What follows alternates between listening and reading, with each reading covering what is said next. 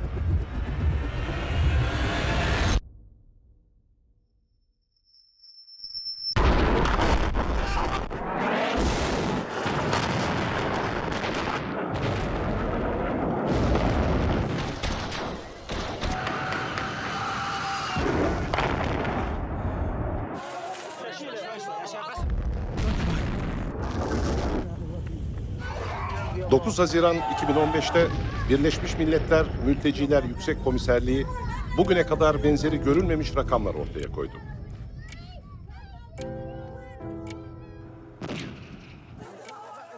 Şu anda 4 milyonu aşkın Suriyeli mülteci Türkiye, Lübnan, Ürdün ve Irak gibi diğer komşu ülkelerde ikamet ediyor. Suriye içinde ise 7 milyondan fazla insan yerinden edildi. Yaz sonuna doğru Suriyeli mülteciler sosyal medyada ve Batı yarımkürenin dört bir yanında yapılan çeşitli yayınlarda en çok konuşulan konu haline geldi. discuss the refugee crisis. huge movement of refugees, wave of refugees, Desperate refugees. refugees. refugees refugees from refugees as they did yesterday.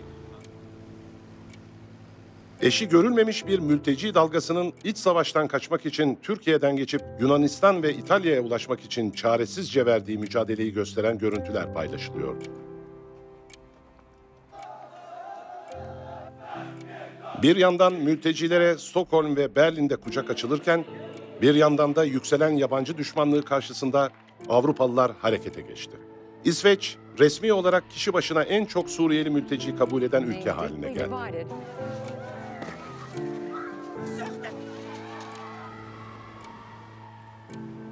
Ancak 2 milyon Suriyeli Türkiye'de kaldı. Çoğunun hiçbir yere gitmeyeceği kesin. Avrupa Birliği mültecilere destek için 4 milyar avronun üzerine yardım yapmış olsa da mülteciler bir yere yerleştirildiklerinde gündelik yaşamları çoğu zaman unutuluyor. Kendimize soruyoruz. Kim bu insanlar ve nasıl bir yaşamları var? Mülteci kamplarında mı yaşıyorlar yoksa geçimlerini kentlerde mi sağlamaya çalışıyorlar? Türkiye'ye nasıl geldiler ve ruhsal durumları savaştan nasıl etkilendi? 21. yüzyılın en büyük toplu göçü gerçekleşti. Artık Gel babam çık. gündelik yaşam başlıyor.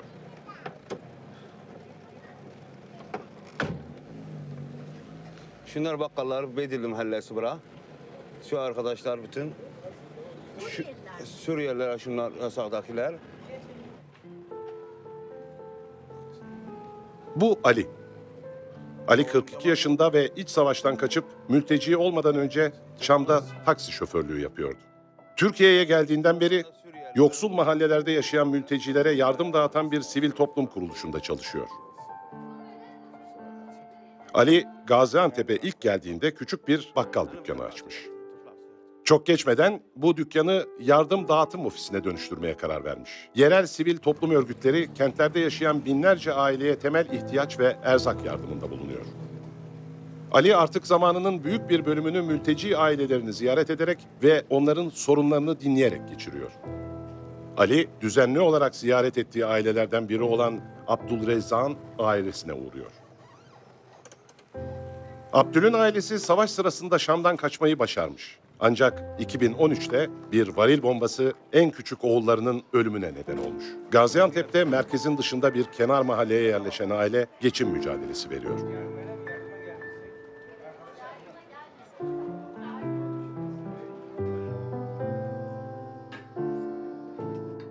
عمره 16 سنة قلنا ما رايحين نطلع لأني بدنا نطلع ما, ما في هالشيء اللي يعوضنا على البلد فلما طالع هو على الشغل نزل برميل صاروخ قذيفة ما بنعرف. فجبت الأولاد وهالمرة لهون باركنا في دكان. والدكان تمينا فيها سنه نحن كلياتنا الدكان باركنا فيها سنه وبعدها هيك شوي شوي هالبنت ساعدتني وهالبنت ساعدتني شوي وأهل الخير يعني ساعدونا. لا الله بعث لي هالبيت صاحبة البيت كتير كتير كويسة.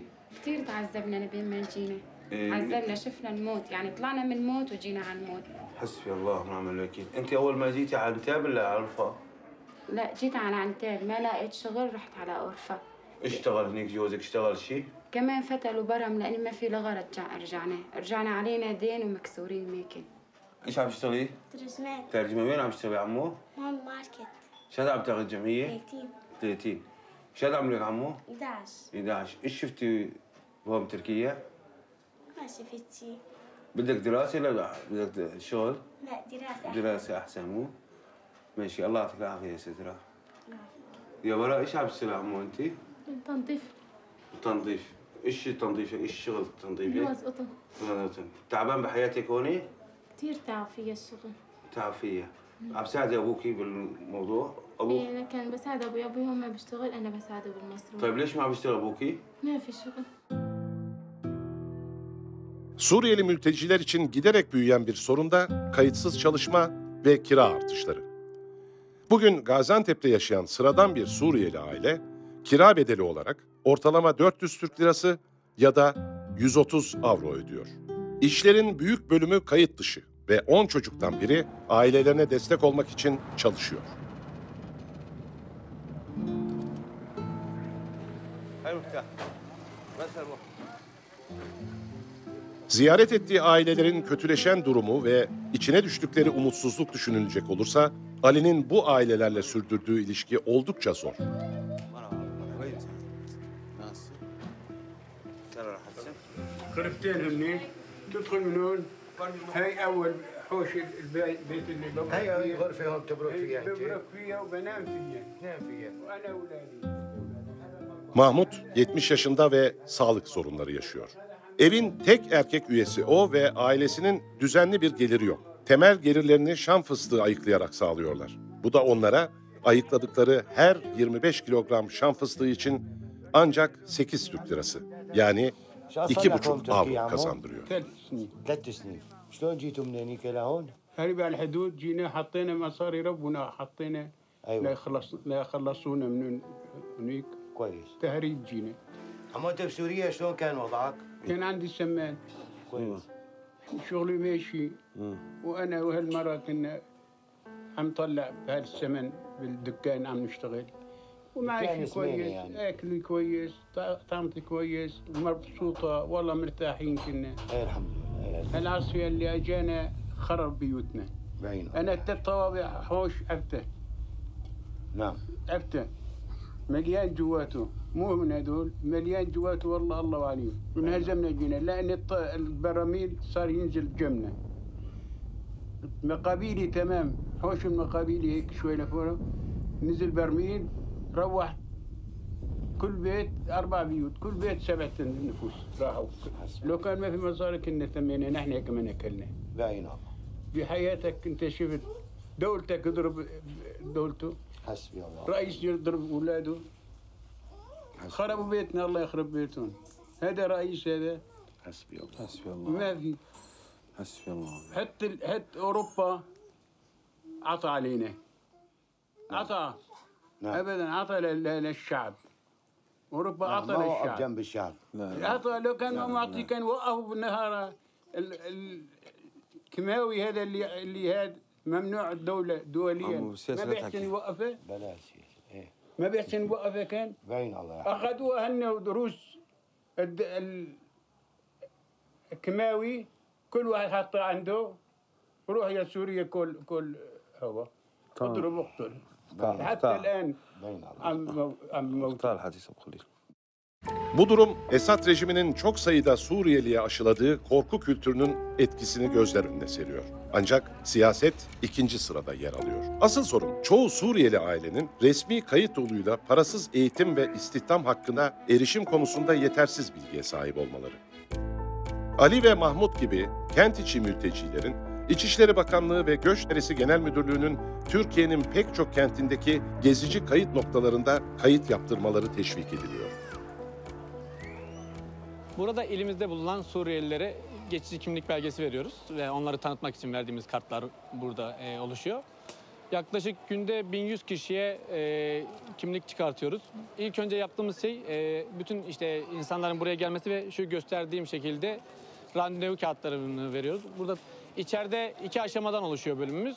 İlk aşama parmak izi aşaması ve bu parmak izi aşamasında 10 yaşından büyüklerin parmak izini alıyoruz ve onu sisteme kaydediyoruz. Bunu içeride de gördüğünüz gibi zaten fotoğrafları çekiliyor. 10 yaşından küçüklere sadece fotoğraf çekiliyor ve onlardan daha sonra kimliklerini çıkartıp veriyoruz.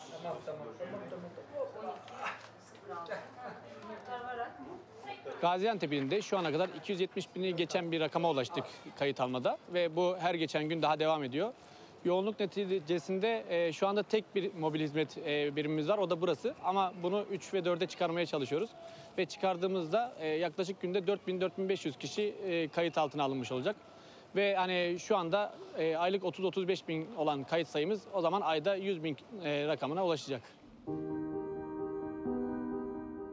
Ancak Türkiye'ye gelen mülteciler yalnızca kentlerde kayıt altına alınmıyor. Şu anda Suriyelilerin %15'i barınma merkezlerinde ya da daha yaygın ismiyle mülteci kamplarında yaşıyor. Türkiye hükümeti 2012 yılından bu yana Suriye'den gelen mültecilere geçici koruma statüsü veriyor. Bu statü mültecilere yasal bir statü sağlamaması nedeniyle sıklıkla eleştiriliyor. Ancak mültecilerin sosyal hizmetlere erişimlerini güvence altına alıyor. Yaklaşık 260 bin Suriyeli Türkiye'nin güneydoğusunda bulunan mülteci kamplarında yaşıyor. Kampların yönetiminden AFAD olarak da bilinen Afet ve Acil Durum Yönetimi Başkanlığı sorumlu. Bu kampların maliyetinin 7 milyar avro olduğu tahmin ediliyor. Kamplarda yaşayan Suriyeliler kentlerde yaşayanlara göre çok farklı bir hayat sürüyor. Ali'nin ziyaret ettiği aileler kira bedellerindeki artış ve eğitim konularıyla baş etme mücadelesi verirken kamplarda her ailenin barınma, eğitim ve sağlık hizmetlerine erişim güvencesi bulunuyor.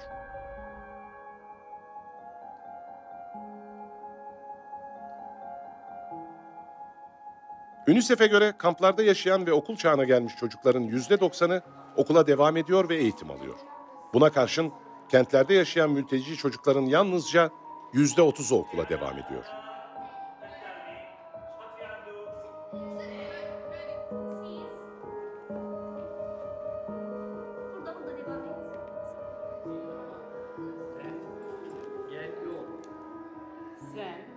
Bu Muhammed. Muhammed 23 yaşında ve 2013 yılında Hama kentinden kaçmadan önce Albat Üniversitesi'nde veterinerlik eğitimi alıyordu.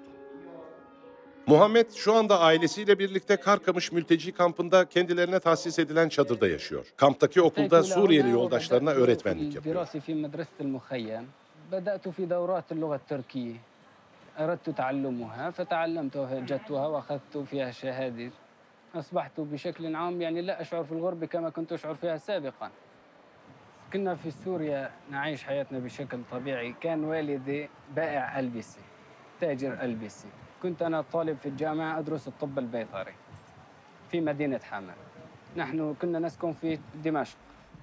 عند بداية الثورة وتأزم الأمور في سوريا أهلي خرجوا أولا إلى القرية كفر عويد. كانت سابقا قد حصل فيها مجزرة. قتل فيها 132 شخص في نفس اليوم في في الليل. وكانت الوضع متأزم فيها وقصف مستمر يوميا على القرية من الطيران ومن المدفعية في في مناطق قريبة اللي تم- متمركز فيها الجيش. فاضطرينا هاجرنا من جبل الزاوي إلى مدينة جرابلس على الحدود التركية. فأقمنا فيها مدة ثلاثة أيام أنه على أساس هجرنا من جبل الزاوي على جرابلس. أقمنا في مدرسة شرعية. فإجا الطيران كمان لحقنا لجرابلس قصفنا صاروخ على المدرسة الشرعية. وكان أكثر من 300 عدد بشر آه، أطفال ونساء ورجال يعني بحدود 300 شخص. والمدينة جرابلس تبعد عن الحدود التركية شغلة واحد كيلومتر فقط واحد كيلومتر. فهجمت العالم من الخوف والرعب على الحدود التركية على الشريط التيل. فالوقت اللي شافوا الطيارة ضربت فتحوا لنا الشبك والشريط شالوه الأتراك وقالوا لنا تفضلوا فوتونا على الأراضي التركية. آه، عندما قدموا إلى هنا بدأوا بالاتصال بي وأرادوا مني القدوم بشدة من الجامعة. أنا كنت أتابع جامعتي ولكن كان الوضع متأزم في المنطقة. كنت أسكن في السكن الجامعي في مدينة حما آه، عندما اتصلوا بي في نفس اليوم آه، الذي اتصلوا بي آه، أتت ثلاث قذائف ونزلت في السكن الجامعي. خرجت من هناك إلى القرية بقيت في القرية عشرة أيام ومن ثم قدمت إلى تركيا.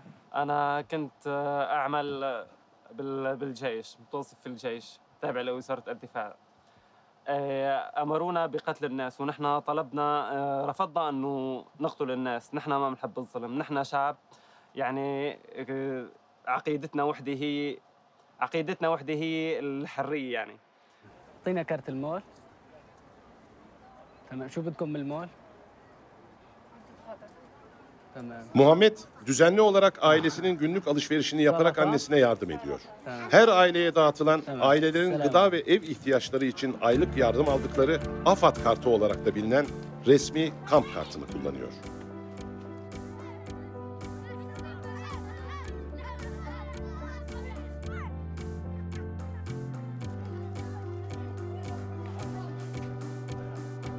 نحن هلا الان في الماركت نحن اعتدنا القدوم الى هنا كل يوم من اجل اخذ الحاجيات للخيمه عن طريق كرت فادلة تقوم بش- بتعبئته كل شهر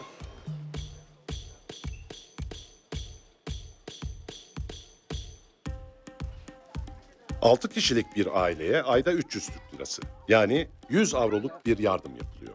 Bu finansal yardım çoğunlukla yeterli olmuyor ve bazı Suriyeliler kamp dışında ve yerel piyasada iş arıyor.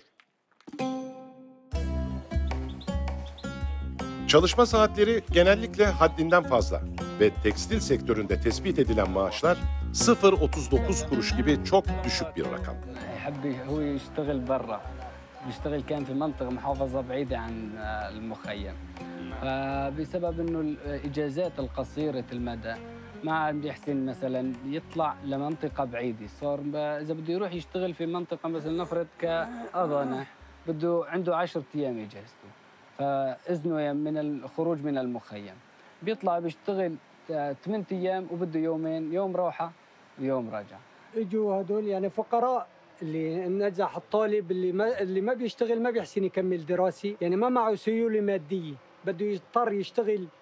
طالب هذا كان طالب جامعي ودكتور ومهندس وكلها بيجوا بيشتغلوا بالزراعة اللي بالأرض بيشتغل بالكريك بالقزمة. ما هذا في عمره ما مسكها مثلا بسوريا كان طالب ومن الجامعه لبيته من بيته لوظيفته فاضطر هون يشتغل في القزمة وفي ال... في عشابة الأرض ظروف قاسية جدا على الشعب السوري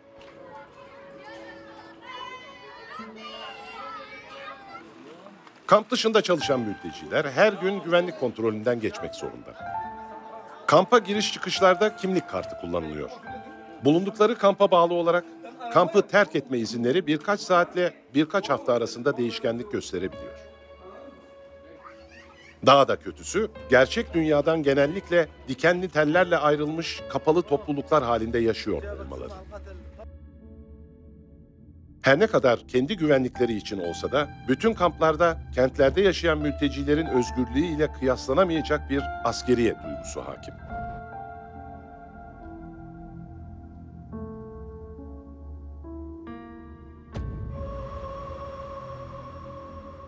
Çok sayıda kamp Suriye ile Türkiye arasındaki gelgitli sınırda konumlanmış, IŞİD'in kontrolündeki Cerablus Kırkamış kampından sadece birkaç kilometre uzakta. Bu da kamplardaki artırılmış güvenlik önlemlerini açıklıyor.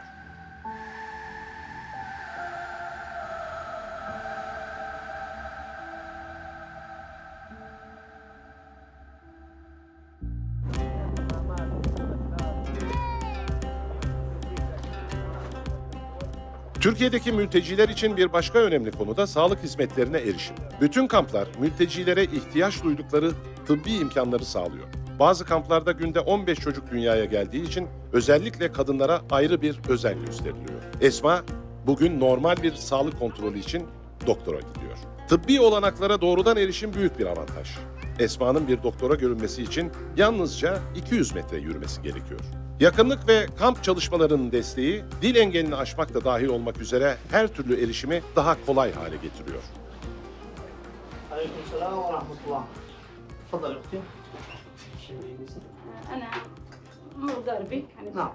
صار لي أربع أيام مغربي وهلا جيت لعندكم الله يجزيكم الخير يا رب أبو صدري صحوية لو سمحت يعني نسبة امبارحة اليوم كيف اليوم تعبانة هيك شوي يعني قالوا لي تعي مشان أحسن من امبارحة مثلا؟ إيه أحسن على الأول إيه ده أيوه مش إيه بس بدي حب. وجع راس آركز بش- بشاريو مش إيه. آركز جهاز حب التهاب في سعال في حرارة إيه إيه. إيه ورشح Ve e, aynı zamanda burnu akıyormuş. والله بالظبط. تركيا كلياتكم أخوتنا بالله إن شاء الله ve sahlan. Tıbbi sorunlar ne mülteci kampları ne de temel acil durum ihtiyaçlarıyla sınırlı değil. Giderek büyüyen ve çoğunlukla da tabu olarak görülen bir konuda Suriyelilerde savaş sonrası ruh sağlığı. İMC, Suriyeli mültecilerin %54'ünün depresyon ve kaygı da dahil olmak üzere ciddi duygusal bozukluklardan müzdarip olduğunu tahmin ediyor. Bunlardan biri de Helven. Helven 38 yaşında travma sonrası stres bozukluğu yaşıyor. Bugün öğleden sonra Gaziantep'in sayılı Suriyeli psikologlarından birisiyle görüşmesi var ve daha önce hiç psikoloğa gitmemiş. Ancak oraya gitmeden yerine getirilmesi gereken başka yükümlülükleri var. إيه لك يلا مشان الحارة تنشهر شوي اه ايه ايه معلش خليني اعرف وجع بالسوري كارهين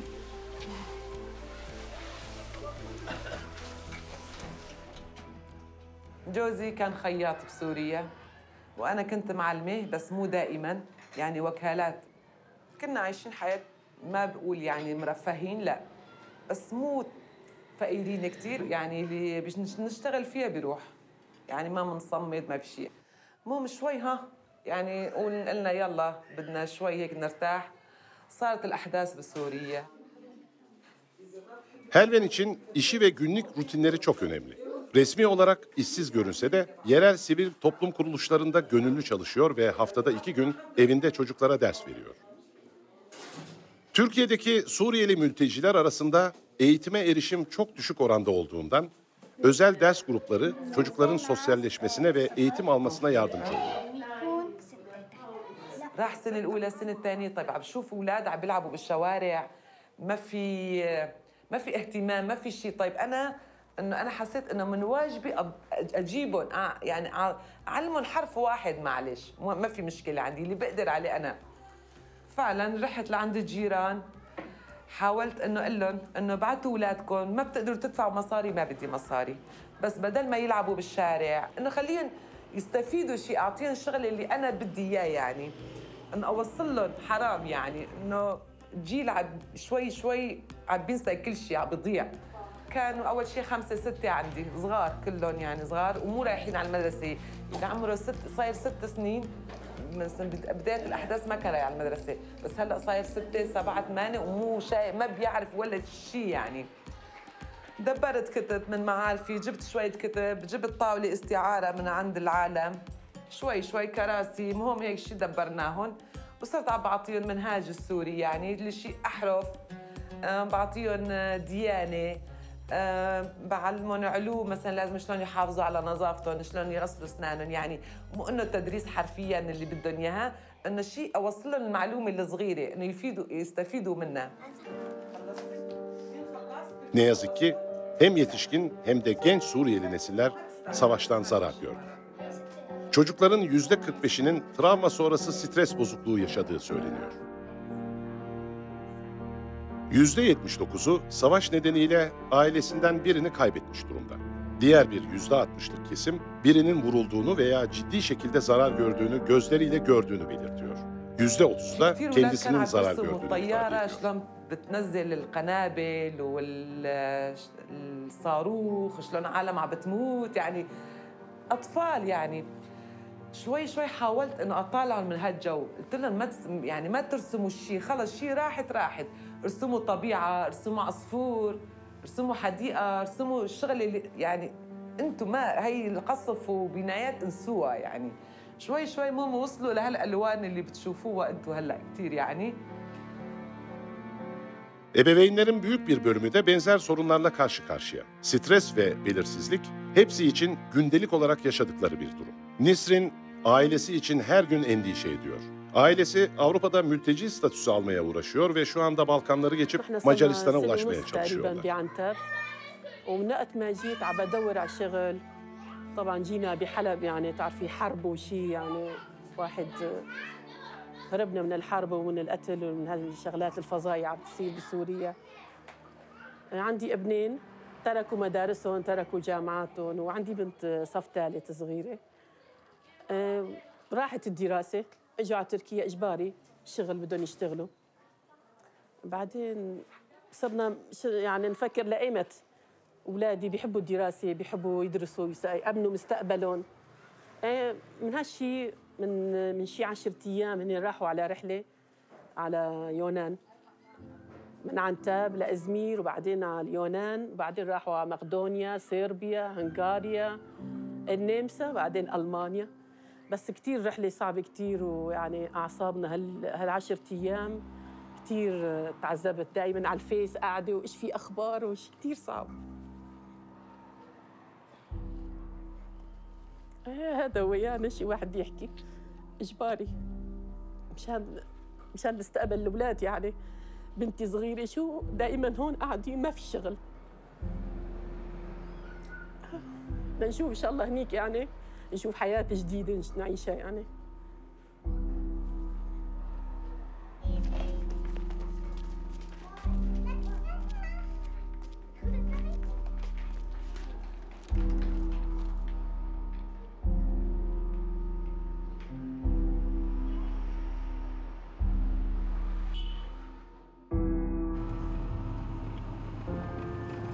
Helven biraz gergin ve bugün psikologla yapacağı görüşmeden ne beklemesi gerektiği konusunda emin değil. Eğer Helven gibi güçlü ve bağımsız bir kadın bile psikoloğa gitmekle ilgili sosyal olarak damgalanmaktan korkuyorsa, diğer birçok kişi için bunun ne kadar zor olduğunu söylemeye bile gerek yok.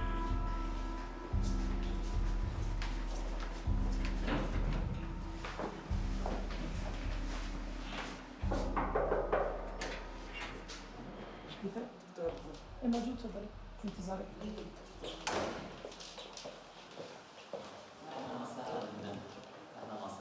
كثير صار عم بخاف يعني عم بخاف عم بشوف كوابيس كثير بتخافي إيه كثير عم بخاف يعني بالمنام أوقات في الصبح بقول عجب حقيقة ولا منام؟ لأنه صوت التفجير صوت لأني قبل ما أطلع من سوريا صار تفجير قدام قريبة من بيتي يعني سيارة مفخخة كان كثير قوي يعني. بس صار فترة يعني هو لا من زمان كل فترة عم بشوف صوت الطياره أو لا بسمع نفس الصوت من خوفي دائما بدي اسمع نفس الصوت لأنه اذا ثاني مره سمعت ما راح اتحمل يعني أنا هيك بيني وبين حالي عم بحكي. ما بعرف يعني مثلا بشوف اوقات ان أنا بضيعه ضيعه سوريه عم بيقولوا انه بدهم يقصفونا بدي انقذ ولد صغير عم بحاول انه اهرب فيهم وعم برقل بقول بس ما بقدر اطلع يعني بفيق من منامي كثير خايفه انه بدي انقصف بس ما بقدر اهرب وهكذا. متكرر يعني هيك نمط عم بشوف أنا. الساعة تقريبا ستة وشوي كنا بدنا نتغدى صار التفجير. لما صار اللون هيك برتقاني اللون هيك صوت مع الغبرة مع العياط والإزاز عم تنكسر. يعني أنا ما حسيت على الإس إنه الثواني الأولى حسيت إنه يوم الق... يعني يوم القيامة إنه في شيء عم. في شيء أنا ما يعني ما راح أعيش خلص إنه أنا راحت إنه أنا رحت يعني ووقف وقف عقلي كل شيء يعني فورا حفيانة أنا وجوزي كنا لأنه كان جاي من الشغل نزلنا على الابو تحت الجيران نحن كنا بالبناية أربع بيوت أربع عائلات نحن كنا بس هداك الوقت عائلتين الباقي كانوا كلهم هربانين من قبل يعني بس نحن بما إنه ظروفنا تعبانة ما تركنا حلب يعني لما ص- نزلنا لتحت يعني من خوفي هو آه، آه، جوزي قال لي إنه انت شكلك تغير يعني إنه أنا ما بعرف شلون بس قالوا إنه شكلك تغير وعياط وأنا مالي صوت يعني مجمدة بأرض يعني واقفة هيك يعني إنه. أنا ميتة يعني ما في لا إحساس لا ش... ما في شيء يعني هو ضربني كف هو عم بيقول لي إنه أنا ضربتك كف مشان تصحي على حالك أيوه انه هيك يعني قوي إنه مشان أصحى المهم شوي صحيت. هدي الوضع طبعا شي ساعتين ثلاثة ونحن بالقبو وحفيانين وبالبيجامه يعني لابسين بالبيت يعني مو متوقعين انه هذا الشيء يصير. وكانت معنا بنت صغيرة هديك من خوفها يا حرام يعني عملت تحتها. بنت صغيرة.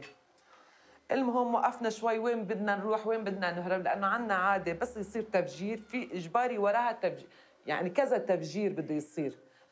المهم هذاك اليوم جوزي قرر إنه بدنا نترك البيت بدنا نجي على الضيعة إنه حالتي نفسية خلص يعني. الصوت الصوت كثير يعني لهلا هي بإذني عم بحسها إنه كأنه امبارحه هذا التفجير إمتى صار؟ تقريبا 2011 أواخر 2011 تقريبا.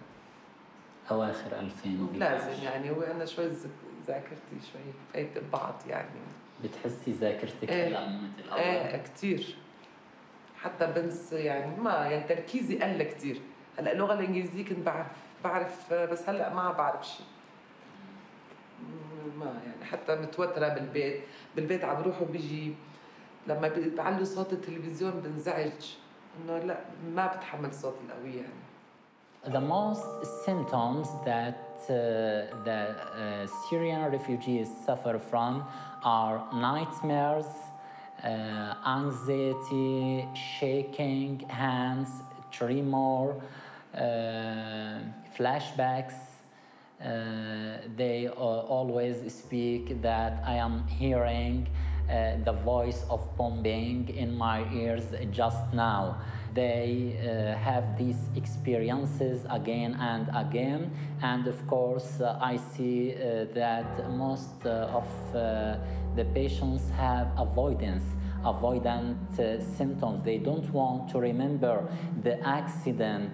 Uh, they told me, no, I don't want to treat because I don't uh, uh, to uh, remember uh, the accident, the murder. But I encourage them, no, you have to continue your treating and will, you will feel better after many sessions that we have done for you.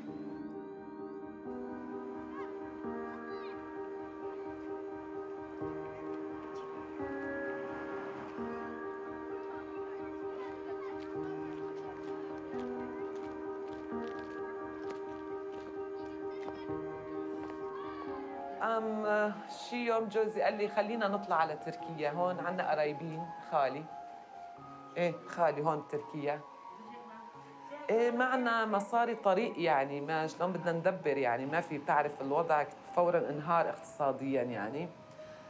في كم غرض البيت يعني من هون من هون بعنا من هون شيء كان عندي ذهب شوي ذهب بعتهم إنه مشان مسافة الطريق وبنقدر ناخذ بيت على قدنا يعني ويشتغل هون يعني وأنا أكون هون يعني. وفعلا الله يسرها يعني جينا جينا أنا ما عندي جواز سفر باسبورت ما عندي. جينا مخالفين يعني على طريق الحدود التركية. عانينا كمان كثير يعني إنه صعب كان المرور على تركيا كثير صعب يعني. عم نقول لهم إنه أنا مرضانة لازم أروح على الدكتور. المهم تقريبا من الصبح لتقريبا الساعة 6 7 لبين ما قدرنا نفوت يعني. مخالفين يعني. المهم بعدين جينا على بيت خالي بيت خالي قريب من هون. ضلينا عنده تقريبا بس شو كنت عم ببكي كثير يعني إنه تركت كل شيء يعني واحد يترك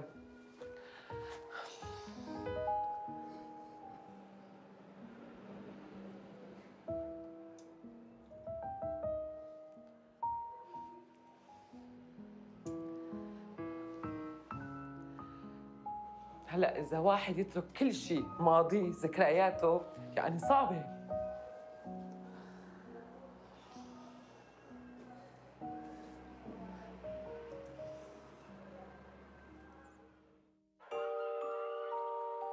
Ülkesini bırakıp kaçmak her zaman başvurulacak son çaredir. Helven bunun her şeyden vazgeçmek demek olduğunu söyledi bize. Gelecek milyonlarca Suriyeli mültecinin karşısına neler çıkacak diye soracak olursanız bunun kolay bir cevabı yok. Avrupa'nın ortak endişesi de bu. Bir kısmı batıya gidecek ama çoğu Türkiye'de kalacak. Avrupa'da İsveç, Türkiye ve Almanya gibi ülkelerin hükümetleri mültecilerin güvenli bir yere ulaştırılması ve uygun barınma şartlarının sağlanması için muazzam çabalar sarf ediyorlar. Ali, Muhammed ve Helven yakın bir gelecekte Suriye'ye dönemeyecek olsalar da şu anda güvenli ve şiddetten uzaktalar. Yeniden başlamak ve yeni bir hayat kurmak için bir fırsat bu. Ama fiziksel acı dindikten sonra bile ruhsal yaraların iyileşmesi uzun zaman alacak. Ancak kesin olan tek bir şey var. O da savaş artık sona ermeli.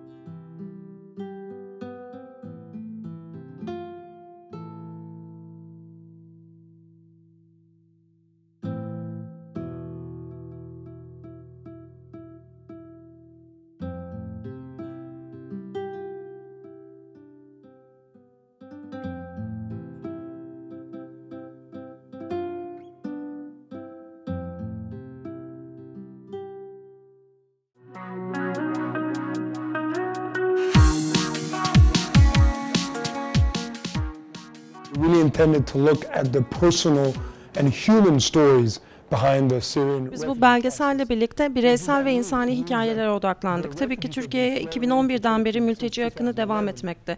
Bu noktada Avrupa Birliği ve Türkiye'de elinden geleni yardım etmek amaçlı yapıyor. Ancak bu kişilere baktığımız zaman Belçika ve diğer ülkelerde biz sadece kap- kamptaki kişilere odaklanabileceğimizi düşündük. Fakat Türkiye'nin güneydoğusunda özellikle sayılar açısından, yaşananlar açısından çok e, yüksek rakamlarla karşılaştık. Örneğin AFAD kampları oldukça etkileyici. Belçika, İngiltere'de ve diğer ülkelerden gelenler tarafından da bu fark edildi.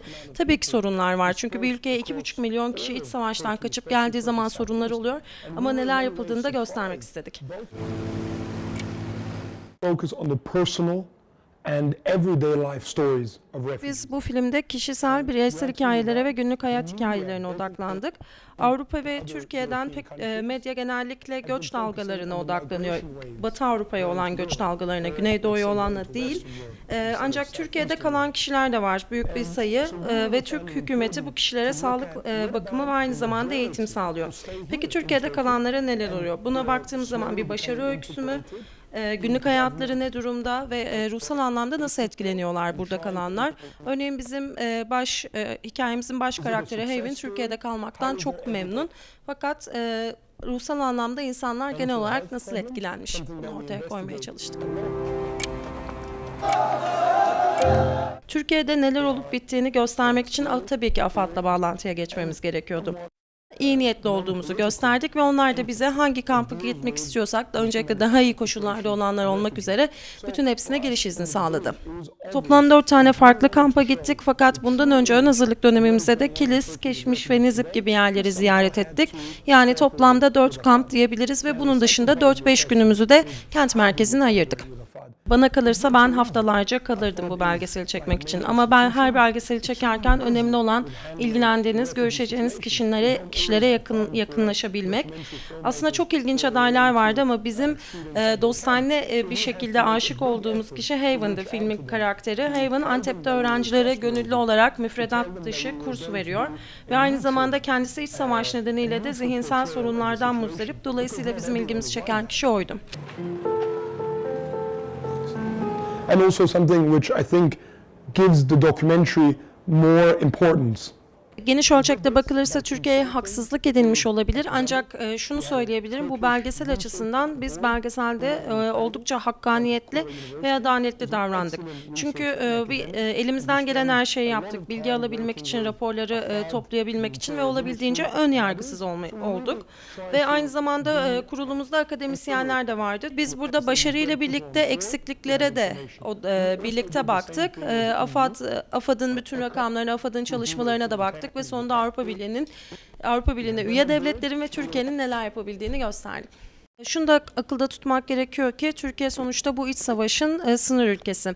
Tabii Avrupa Birliği üye devletlerine baktığımızda Batı Avrupa'dan müdahale etmek onların açısından daha kolay görünebilir ama Türkiye'nin sorumluluğu daha fazla sınır ülkesi olduğu için ve Türkiye'deki politika yapıcıların işi de bu bağlamda daha zor.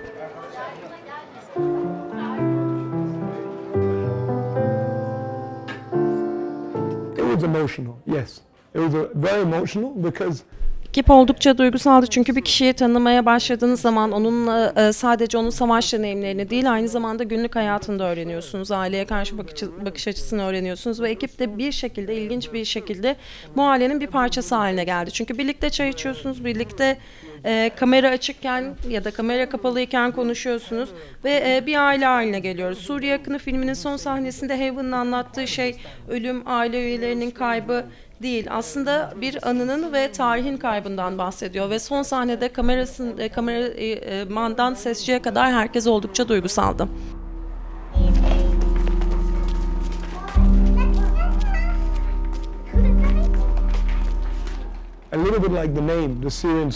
Bütün iç savaşların belli etkileri var savaş bittikten sonra tıpkı filmin ismindeki gibi arkadan devam edecek akı neden etkileri var. Ancak bütün e, bu sorunları çözmek kalpte başlıyor. Toplumla, e, sivil toplumla, gazeteciler ve halkla birlikte bir e, kalplerinde dayanışma ve şefkat duygusuyla başlıyor. Daha sonra hükümetler ve sivil toplum bu işe e, dahil olmalı ve toplumla bütünleşmeleri bu kişilerin sağlanmalı. Eğitim almalı, yeterli eğitim alam, almaları sağlanmalı ve toplumun bir parçası olması sağlanmaları mültecilerin. Ancak bu dediğim gibi ortak bir sorumluluk sadece e, Avrupa Birliği, İsveç, Almanya gibi ülkelerin sorumluluğu olmakla birlikte aynı zamanda Türkiye'nin de sorumluluğu. İs a shared responsibility of the European Union, of countries like Germany, Sweden, and also Turkey.